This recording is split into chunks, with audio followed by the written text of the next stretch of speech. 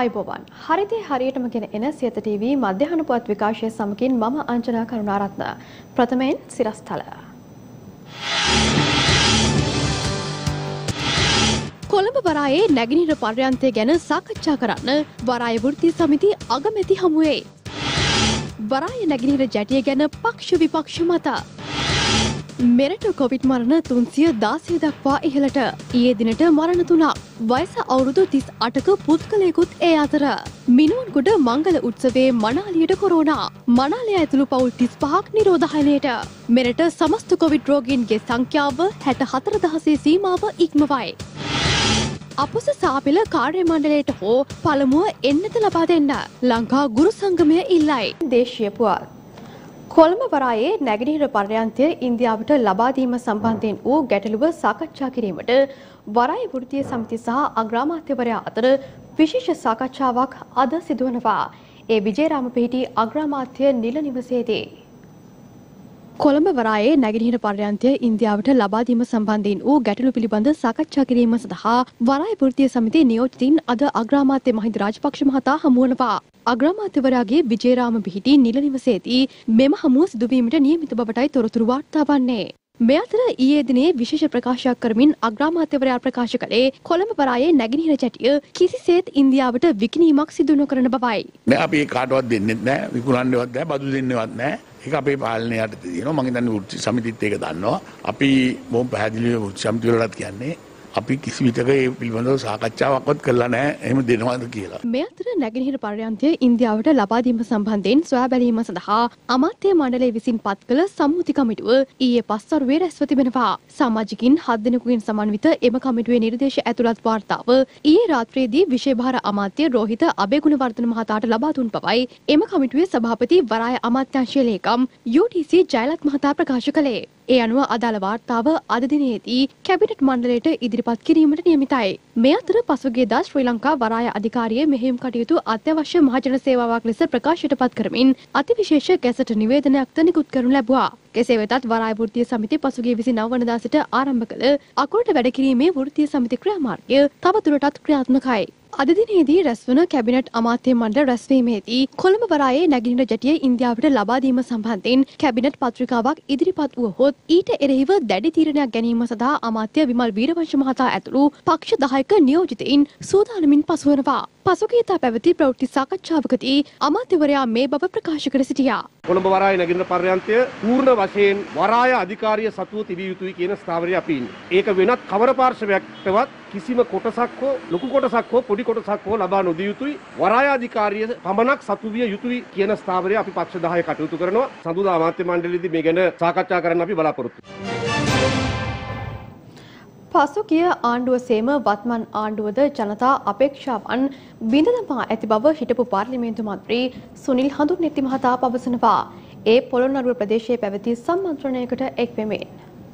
පැවතිච්ච එක්සත් ජාතික පක්ෂයේ ආණ්ඩුව රටේ ජනතාවගේ බලාපොරොත්තු වලට පයින් ගැහුවා නීති අවනීතිය බවට පත් කළා මහ බැංකුව මංකොල්ලා කෑවා ජනතාවට සහන දුන්නේ නැහැ බොහෝ ප්‍රශ්න හැදුවා ඒ නිසා යහපාලනයේ වහපාලනයේ බවට පත් වුණා ජනතාවට ඒ නිසා ජනතාව අතරේ ආව සාකච්ඡාවක් මේ රට හදන්න නම් දේශපාලනයට සම්බන්ධ නැති කෙනෙක් එන්න ඕනේ කිව්වා. නමුත් අද වෙනකොට මොකද වෙලා තියෙන්නේ? මේ රාජපක්ෂ පාලනය නැවත වතාවක් බලයට ගෙනල්ලා මේ රට හදයි කියලා විශ්වාස කරපු ජනතාවට සොරි වෙලා තියෙන්නේ. දැන් රනිල් වික්‍රමසිංහ මහත්තයා ඉන්නකොට එයාව අල්ලගෙන පළු ගහ ගහ පළු ගහ පතුරු ගැහුවනේ කට්ටිය. MCC කිව්ස් මස්සම් කරනවා රටේ සම්පත් විකුණනවා හම්බන්තොට වරාය විකුණනවා මේක එල්ලන්න ඕන කියලා. දැන් මුකුත් කතාවක් නැහැ. දැන් රනිල් වික්‍රමසිංහ මහත්තයා හිටියනම් කරන වැඩ ටික ඒ ප්‍රතිපත්තිය ඒ විදියටම අකුරක්වත් අඩු කරන්නේ නැතුව කරගෙන ඉතින් රනිල් දිනුන්නේ.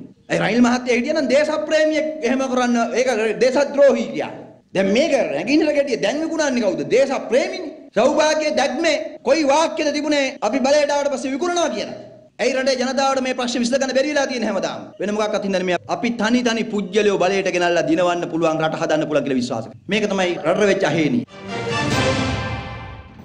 වරාය නැගෙනහිර ජැටිය විකිණීම සම්බන්ධයෙන් විවිධ සාකච්ඡා ඇතිවද මෙරට ආර්ථික දියුණුව ඇති කිරීම පිළිබඳව කිසිදු පාර්ශවයක් සාකච්ඡා නොකළ බව පාර්ලිමේන්තු මන්ත්‍රී අනුර ප්‍රදර්ශන යාපා මහතා පවසනවා. ඒ කුරුණෑගල ප්‍රදේශයේ පැවති මාධ්‍ය හමුවකදී අපි කොහොමද අපේ නැගිනහිර ජැටිය දියුණු කරන්න කියලා අපි අහනවා. ඒක කාට හරි දෙනවද කියලා අහනවා. බටහිර ජැටියක් ගන්න තියනවද කියලා අහනවා. නමුත් අපි සාකච්ඡා නොකරන එකම දෙයක් තියෙනවා. ඒ තමයි අපේ රටේ ආර්ථික දියුණුව අපි ඇති කරන්නේ කොහොමද කියලා. තව නිදහස් දිනේ සමරන දිනේට ආසන්න දිනයක ඉඳගෙනත් මට කියන්න තියෙන්නේ අපි ඉන්නේ තාම මුල් තැන කියලා. ලෝකේ අපිට වඩා හුඟක් දියුණුයි. හැබැයි අපි තාම දියුණු වෙන මොඩලය ගැන අපේ තර්ක ඇති කරගෙන ඉන්නවා. ඒ නිසා අපි තාමත් දියුණු වෙන රටක් හැටියට හැමදාම අපි විවේචනයේ ඉස්සර කරගෙන අපි ඇත්ත පස්සකට දානවා. අපි හැමදාම අපේ ජනතාවට මේ කම්කටොල දුක අපි උරුම කරනවද? නැත්නම් අපි ලෝකේ අනිකුත් දියුණු රටවල් එක්ක සංසන්දනය කරන තාක්ෂණික වෙනසකට අපි යනවද කියලා අපි තවත් සාකච්ඡා කරලා නැහැ. මට කනගාටුයි. ඒක කියන්න අපේ ආණ්ඩු කතා කරන්නෙත් නැහැ විරුද්ධ පක්ෂ කතා කරන්නෙත් නැහැ කවුරුත් කතා කරන්නේ ඒක මග ඇරලා තමන්ගේ ආධිපත්‍යය එහෙම නැත්නම් තමන්ගේ දේශපාලන දර්ශනය ඉදිරිපත් කරන කාරණා ගැන පමණක් අපි කතා කරනවා. මේ රටේ දීර්ඝ කාලයක් മന്ത്രിකමක් දරාපු අමතිකම් ගණනාවක් දරපු මට හරි කනගාටුවක් හිතෙනවා අපේ රටේ මේ වර්තමාන සාකච්ඡාවන් දු පෞද්ගලික සාකච්ඡාවන් බවට පත්වීම ගැන. වත්මන් ආණ්ඩුවේ නායකින් සෑම විටම මෙරට ආර්ථික මර්මස්ථාන රැක ගැනීම වෙනුවෙන් කැපවී සිටින බව පාර්ලිමේන්තු මන්ත්‍රී චන්දිම වීරක්කොඩි මහතා පවසනවා. ඒ ගාල්ල ප්‍රදේශයේ පැවති මාධ්‍ය හමුවකදී. ප්‍රධාන ආර්ථික මර්මස්ථාන වරාය ගුවන්තොටුපොළ බලශක්තිය. මෙන්න මේ ක්ෂේත්‍රයන්හි කිසිදු විදේශික ආයෝජකයෙකුට අවස්ථාව ලබා දෙනවට වඩා රජය හැටියට කරන්න බැරි නම් ශ්‍රී ලාංකීය ආයෝජකයන් එක්ක ඒ කටයුතු කිරීම තමයි රටේ අනාගතයට යහපත් වන්නේ. ලෝකේ ඕනම දියුණු රටක ආර්ථික මර්මස්ථාන තමන්ගේ බාරයේ තියගෙන තියාගෙන තමයි රටවල් ඉදිරියට ගිහිල්ලා තියෙන්නේ. අපේ රටේ ආර්ථික මර්මස්ථාන රැක ගැනීම සඳහා වූ වැඩපිළිවෙල නියම විදියට කරපු නායකයා මහින්ද රාජපක්ෂ හැටියටයි රට විශ්වාස කරන්නේ. කටයුත්ත ඒ විදියටම ඉදිරියට ගෙන යාමේ බලාපොරොත්තුවෙන් තමයි අපි හැමදෙනාම එකතු වෙලා ගෝඨාභය රාජපක්ෂ ජනාධිපතිතුමා පත් කරගත්තේ. ඒ වෙනුවෙන් අපි කැපවීම අනිවාර්යෙන් අත්‍යවශ්‍යයි. අතීතයේ බලයටපත් නායකින් සිය ජීවිත පවා පූජා කර වරාය ජනසතු කිරීමට කටයුතු කළ අතර එම වරාය ඉදිරි පරම්පරා සඳහා රැක ගැනීම සියලු දෙනාගේම වගකීම බව පාර්ලිමේන්තු මන්ත්‍රී වීරසුමන වීරසිංහ මහතා පවසනවා. ඒ මාතර ප්‍රදේශයේ පැවති ජන හමුවකට එක්වෙමින්. අම්බන්තර වරාය පදු වෙන්න සූදානම් වෙච්ච වෙලාවේ ඒ තිබිච්ච විරෝධයම තමයි අදටත් තියෙන්නේ මේ අලුත් තත්ත්වයක් නෙවෙයි. මේ අවුරුදු පහ තුළ තීන්දුව ගන්න ඕන තව අවුරුදු 50ක් 100ක් මේ රට රැකෙන තීන්දුව මිසක් තව අවුරුදු 50ක් 100ක් මේ රට වැටෙන තීන්දුව නෙවෙයි. රට රැකෙන තීන්දුව ගන්න නම් ඒ ප්‍රතිපත්තිමේ තීන්දුව ගැනීමේදී හරි ඉවසීමෙන් බුද්ධිමත්ව ගැනීම තමයි දේශපාලඥයෙක් විදිහට අපේ කාර්යභාරය බවට පත් වෙන්නේ. අපේ රටේ සිදුවෙච්ච දැවැන්තම දේශපාලන පෙරළිය සිදුවෙච්ච අවුරුද්ද 56 SWRD බණ්ඩාරනායකගේ ප්‍රගතිශීලී වාමාංශ එක්සත් පෙරමුණ බලය පත් වෙනකොට ඒ හැම ප්‍රගතිශීලී තීන්දුවටම එදා විපක්ෂයේ අයගේ සහයෝගය ලැබිලා ගොඩක් ප්‍රතිපත්තිමය තීන්දුව ගන්න පුළුවන්කම ලැබුණා. ඒ ප්‍රතිපත්තිමය තීන්දුව වල ප්‍රධානම දෙයක් තමයි ජනසතු පිළිබඳ තීන්දුව. කොළඹ වරාය අපට ලැබුණේ ඒ ජනසතු කිරීමේ ප්‍රතිඵලයක් විදියට. SWRD බණ්ඩාරනායක මැතිතුමා ඔහුගේ ජීවිතේ නැති වෙන්නත් ඒ ජනසතුව හේතු උනායි කියන කාරණාව අපේ සහෝදරුන් දැන් දන්නවා. ඒක නිසා ඒ ජීවිත පරිත්‍යාගයෙන් රාජ්‍ය නායකයෙක් බේරාගත්ත ආයතන ළඟ પરම්පරාවට රැකගන්න එක අපේ වක්කීමක් යුතුයකමක් බවට පත් වෙලා තියෙනවා. COVID-19 වෛරසය ආසාදනය වී මෙරට සිදු වූ තවත් මරණ තුනක් පිළිබඳව ඊයේ රාත්‍රියේදී වාර්තා වීමත් සමග මෙරට සමස්ත කොවිඩ් මරණ සංඛ්‍යාව 316 දක්වා ඉහළ ගොස් තිබෙනවා. මේ අතර මෙරට සමස්ත කොවිඩ් රෝගීන්ගේ සංඛ්‍යාවද 64000 සීමාව ඉක්මවා ගොස් ඇති බවයි වසංගත රෝග විද්‍යා ඒකකයේ සඳහන් කළේ. COVID-19 වෛරසය ආසාදනය වී මෙරට සිදු වූ තවත් මරණ තුනක් පිළිබඳව ඊයේ රාත්‍රියේදී වාර්තා වීමත් සමග මෙරට සමස්ත කොවිඩ් මරණ සංඛ්‍යාව 316 දක්වා ඉහළ ගොස් තිබෙනවා. එලෙස මියගිය පුද්ගලින් අතර වයස අවුරුදු 38ක පිරිමි පුද්ගලයෙක්ද වන බවයි රජයේ ප්‍රවෘත්ති දෙපාර්තමේන්තුව නිවේදනය කළේ. COVID-19 වෛරසය ආසාදනය වූ නවරෝගීන් 864 දෙනෙකු පිළිබඳවද ඊයේ දින වාර්තා වුණා. ඒ අනුව මෙරට සමස්ත කොවිඩ් රෝගීන්ගේ සංඛ්‍යාව 64000 සීමාව ඉක්මවා ගොස් ඇති බවයි වසංගත රෝග විද්‍යා ඒකකය සඳහන් කළේ. මේ අතර මිනුවන්ගොඩ මැඩෑමුල්ල ප්‍රදේශයේ මනාලයක් කොවිඩ් ආසාධිතයෙකු බවට තහවුරු වීමත් සමග මනාලයා ඇතුළු එම උත්සවයට සහභාගී වූ පවුල් 35කට අයත් පුද්ගලින් පිරිසක් නිවෙස් තුළම නිරෝධායනය කිරීමට සෞඛ්‍යංශ කටයුතු කර තිබෙනවා.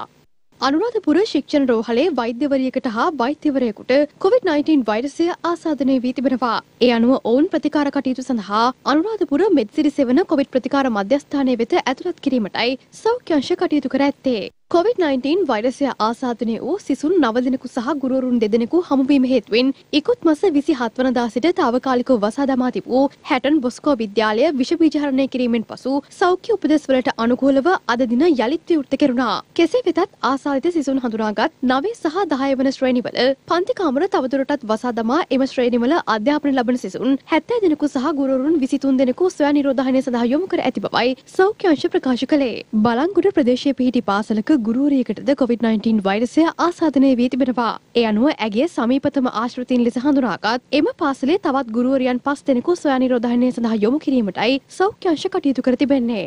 මහියංගන සෞඛ්‍ය වෛද්‍ය නිලධාරී බල ප්‍රදේශයේ පුද්ගලින් 14 දෙනෙකුද කොවිඩ් ආසාදිතින් බවට තහවුරු වී තිබෙනවා. මේ අතර මෙවර සාමාන්‍ය පෙළ විභාගයේ කටයුතු සිදු කරනු ලබන කාර්ය මණ්ඩලවලට හෝ කොවිශීල්ඩ් එන්නත මුලින් ලබා දිය යුතු බවයි ලංකා ගුරු සේවා සංගමේ ලේකම් ජෝසප් ස්ටාලින් මහතා පවසන්නේ. මාර්තු මාසේ විභාගෙ තියෙනවා සාමාන්‍ය පෙළ අපි දැක්කා අධ්‍යාපන අමාත්‍යවරයා ප්‍රකාශ කළා ගුරුවරුන්ට මේ එන්නත ලබා දීම වැදගත් කියන කාරණාව අපි දැන් ලංකාවට එන්නත් මාත්‍රා ලක්ෂ 5යි ගෙනලා තියෙනවා. ගුරුවරු ඉන්නවා 247000ක්. විදුහල්පතිවරු 15000ක් ඉන්නවා. එතකොට දැන් එවනම් මේකෙන් අඩක් පරිහරණය කරන්න අඩගණ තලි ප්‍රමාණය පරිහරණය කරන අධ්‍යාපන ශාස්ත්‍රය. විශාල විශාල ශේෂ්ත්‍ර ගණනාවකට බලාපොරොත්තු ඇති කරලා කුඩා එන්නත් ප්‍රමාණයක් ගෙනන මේක හරියන්නේ නැහැ. මේක නිකන් හරියට ගෙදර ගෙදර ඇතුළේ ලොකු වෙසක් කුඩුවක් ඇදුවා වගේ දොරෙන් ගෙනියන්න බැරි. ඒ වගේ කතා දැන් වෙලා තියෙන්නේ. මේ එන්නත් ලබා දෙනවා ප්‍රථමයෙන් අපි ඉල්ලන්නේ විභාගය එනවා සාමාන්‍ය පෙළ විභාගයේ මාර්තු මාසේ පළවෙනිදා ආරම්භ වෙනවා. සාමාන්‍ය පෙළ විභාගයේ කාර්ය මණ්ඩල වලින් හරි මේ ක්‍රියාව පටන් ගන්න කියලා. මොකද මොකද දැන් අපි දන්නවා නිරෝධායන වෙන ළමයි විභාගයට එනවා. ආසායත ළමයි ඉන්නවා. ඒ ඇත්තේ කටයුතු කරන්න ඕනේ. ඒ වගේ ක්‍රමවේදයක් අනුගමනය කිරීම වැදගත් කියන එකයි අපි කියන්නේ. මේ අතර කොවිශීල්ඩ් එන්නත සම්බන්ධයෙන් වෛද්‍ය රසායනාගාර විද්‍යාඥ වෘත්තිවේදී ආයතනයේ සභාපති රවි කුමුදේශ් මහතා මෙලෙස අදහස් පළ කළා. කොවිශීල්ඩ් එන්නත ලබා දීමත් සමගම සෞඛ්‍ය කාර්ය මණ්ඩලයේ සරලව නිරීක්ෂණය කරාම අපිට දැක ගන්නට තියෙනවා සාමාන්‍ය ප්‍රමාණයට වඩා අතුරු ආබාධ ප්‍රමාණයක් තියෙනවා සාපේක්ෂව වැඩිවීමක් තියෙනවා කියලා. ඉතින් මේ අතුරු ආබාධ කියන්නේ භයානක ප්‍රතිඵලත් වෙන එහෙම නැත්නම් එන්නතේ වැරද්දක් නිසා සිද්ධ වෙන ඒවා නෙවෙයි. ප්‍රතිශක්තිකරණ එන්නතක් ලබා දීමේදී මොන එන්නතට ලබා දුන්නත් යම්කිසි ප්‍රමාණයක සුළු සුළු අතුරු ආබාධ ප්‍රමාණයක් එනවා. ඒක සාමාන්‍ය තත්වයක්. හැබැයි අපි කරපු නිරීක්ෂණයට අනුව අපිට පේනවා අර සාමාන්‍ය එන්නතකදී ලබා දෙනවට වඩා යම්කිසි ප්‍රමාණයක් මේ අතුරු ආබාධ වාර්තා වෙනවා කියලා. නමුත් ඒවා සියල්ල කළමනාකරණය කළ හැකි. කළමනාකරණය කෙරෙන Tamanට තනියම උනත් කළමනාකරණය කරගන්න පුළුවන් අතුරු ආබාධ. ඒ නිසා ඒ සම්බන්ධයෙන් කිසිදු බියක් ඇති කරගත යුතු නැහැ. නමුත් අපි විද්‍යාත්මක අධ්‍යයනයේදී ඒ සම්බන්ධයෙන් මම හිතන්නේ විධිමත් අධ්‍යයනයක් කරන්නට ඕනේ. විශේෂයෙන්ම මේ අතුරු ආබාධ සහ ප්‍රතිදේහ ශරීරය තුළ වර්ධනය වීම අතර තියෙන සම්බන්ධතාවය වගේ දේවල් අපි සොයා ගන්නට ඕනේ. ඒ සඳහා සෞඛ්‍ය අමාත්‍යාංශය පර්යේෂණාත්මක කටයුතු නොකිරීම සම්බන්ධයෙන් අපි බරපතල විවේචනයක් සෞඛ්‍ය අමාත්‍යාංශයට ගේනවා. කොළඹ වරායේ නැගෙනහිර පර්යන්තය ඉන්දියාවට ලබා දීම සම්බන්ධයෙන් වූ ගැටලුව සාකච්ඡා කිරීම වෙනුවෙන් වරාය වෘත්තීය සමිති සහ අග්‍රාමාත්‍යවරයා අතර පැවැත්වෙන විශේෂ සාකච්ඡාව මේ වන විට ආරම්භ වී තිබෙනවා. ඒ අරලියගහ මන්දිරයේදී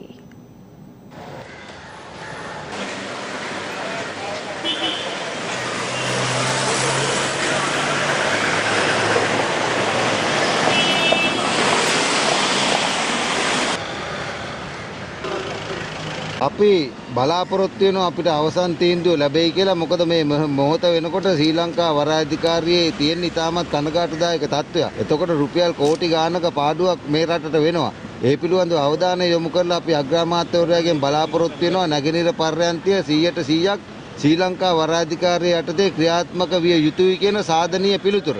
අනිත් කාරණාව තමයි වරාය මේ වන විට අත්‍යවශ්‍ය සේවාවක් කරලා තිනවා. මේ තත්ත්වය උඩ ඉතින් වර්ජනය උද්ඝෝෂණ කිරීම තහනම්නේ. ඒවා ඉතින් මේ රටේ ගැසට් නිවේදන රටේ ජනතාව ගණන් ගන්න නැත්නම් වෘත්තීය සමිති වශයෙන් අපිත් ඒ මතයේ ඉඳගෙන තමයි කටයුතු කරන්නේ. අකුරට වැඩ කිරීමේ ව්‍යාපාරය අපි ඉදිරියට අරගෙන යනවා. මීට වඩා දැඩිව වෘත්තීය ක්‍රියාමාර්ග අරගෙන ඉස්සරහට යනවා මේක දිනාගන්න. අද වෘත්ති සමිති 23ම සහභාගී වෙන වරායේ වෘත්ති සමිති එකමුතු විදියට. අපි ලෙහෙලා බලන්න තියෙන මල්ල ඔබලා බලන්න අවශ්‍ය නැහැ කියලා අපි හිතනවා. අපි හිතනවා ආණ්ඩුව පැත්තෙන් සුබවාදී උත්තරයක් ලැබෙයි කියලා. ඒක මේ රටේ ජනතාවටත් වරායටත් හොඳ හොඳ දෙයක් වෙයි කියලා අපි හිතනවා මොකද මේ වෙනකොට කෝටි ගාණක පාඩුවක් සිද්ධ වෙලා තියෙනවා. ඒ අපේ කැමැත්ත නෙමෙයි. ආණ්ඩුව තප්පරයක් තප්පරයක් පැයක් පැයක් පාසා මේකට විසඳුම් දෙන ප්‍රමාද කරනවා නම් ඒ ප්‍රමාදය හරහා වෙන පාඩුවට වක් වෙන ආණ්ඩුව ඒක නිසා අපි කියනවා ආණ්ඩුවට දැන් වහාම නැගෙනහිර පර්යන්ත ශ්‍රී ලංකා වරාධිකාරී සතුටු කිරීමේ තීන්දුව අද ගන්න කියලා අපි ඉල්ලනවා. දැන් රටවටා පුවත් කිහිපයක් කෙටියෙන් මඩකලපුව පොලිසියට ලද තොරතුරකට අනුව මඩකලපුව කන්නකායි අම්මන් කෝවිල් ප්‍රදේශයේදී හඳුනා නොගත් පිරිමි මලසිරුරක් සොයාගෙන තිබෙනවා. සිද්ධිය සම්බන්ධයෙන් වැඩිදුර පරීක්ෂණ මඩකලපුව පොලිසිය විසින් ආරම්භ කර ඇති බවයි අප වාර්තාකරු ප්‍රකාශ කළේ. පොලිස් විශේෂ කාර්ය බලකායේ විශේෂ වැටලීම් ඒකකයේ කොළඹ කලාපයේ නිලධාරින් විසින් සිදු කළ සෝදිසි මෙහෙයුමකදී තෙල්වත්ත පැරෑලිය නිවසක වහලේ සඟවා තිබූ ටී පනස් හය වර්ගයේ ගිනි අවියක් සමග සැකකරුවෙකු අත්අඩංගුවට ගෙන තිබෙනවා. හැට නුවරඑළිය ප්‍රධාන මාර්ගයේ කුඩාගම ප්‍රදේශයේ රාත්‍රී කාලයේ සැරිසරන කඳුකර කොටියෙක් සුනකයෙකු ඩැහැගෙන යන ආකාරය අසල තිබූ ආරක්ෂිත කැමරාවක මෙලෙස සටහන්ව තිබුණා.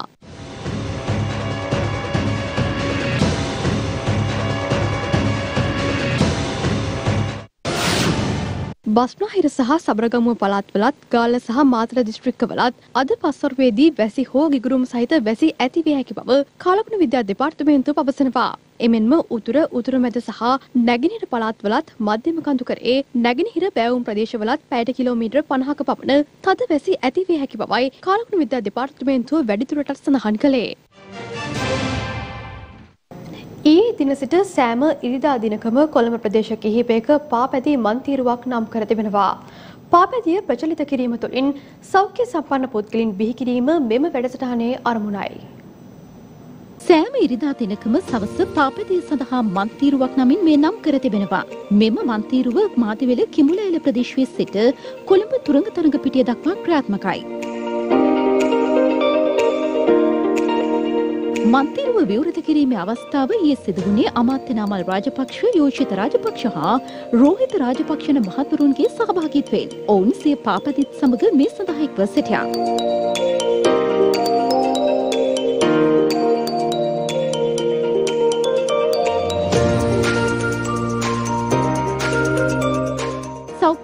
සෞඛ්‍ය සම්පන්න පුද්ගලයන් බිහිකිරීමත් පාපැදිය ප්‍රචලිත කිරීමත් මෙම වැඩසටහනේ අරමුණයි. ඒ අනුව සෑම ඉරිදාවකම සවස හතරේ සිට හත දක්වා මෙම මන්තීරුව ක්‍රියාත්මකයි. මාත්පෙළ කිඹුලායල සිට ජපන් මිත්‍රත්ව පාර පාර්ලිමේන්තු පාර රාජකීය කාසල් පාර හා බෞද්ධාලෝක මාවත ඔස්සේ තුරංග තරඟ පිටිය දක්වා මෙම මන්තීරුව ක්‍රියාත්මක වනවා.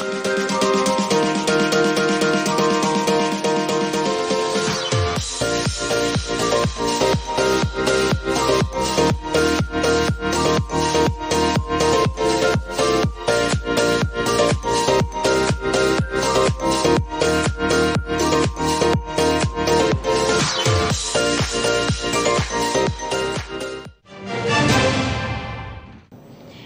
පුවතත් සමගින් අපගේ මධ්‍යහන පුවත් විකාශය මින්නිමාවට පත්වනවා. තවත් උණුසුම් තොරතුරු සඳහා පිවිසන්න www.සියතනිවස්.lk අපගේ වෙබ් අඩවිය වෙත. යළිත් හමුවෙමු සවස 6 අපගේ ප්‍රධාන ප්‍රවෘත්ති විකාශයෙන්. ඔබට සුබ දවසක්. දිනපතා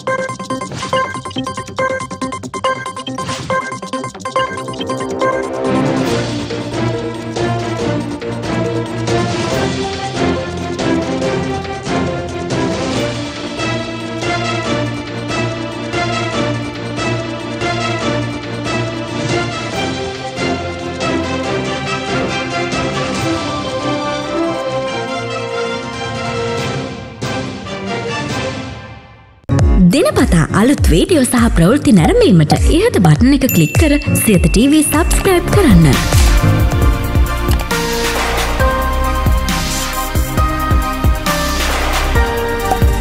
අලුත් වීඩියෝ ගැන මුලින්ම දැනගන්න මෙම සීනුව ක්ලික් කරන්න.